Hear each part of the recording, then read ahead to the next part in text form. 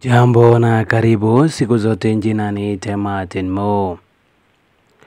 Rais William Ruto na naibu wake Rigathi Gachagua leo wameweza kuhudhuria ibada takatifu ya kumshukuru Mungu katika kaunti ya Embu, ibada ambayo ilifanyika katika chuo kikuu cha Embu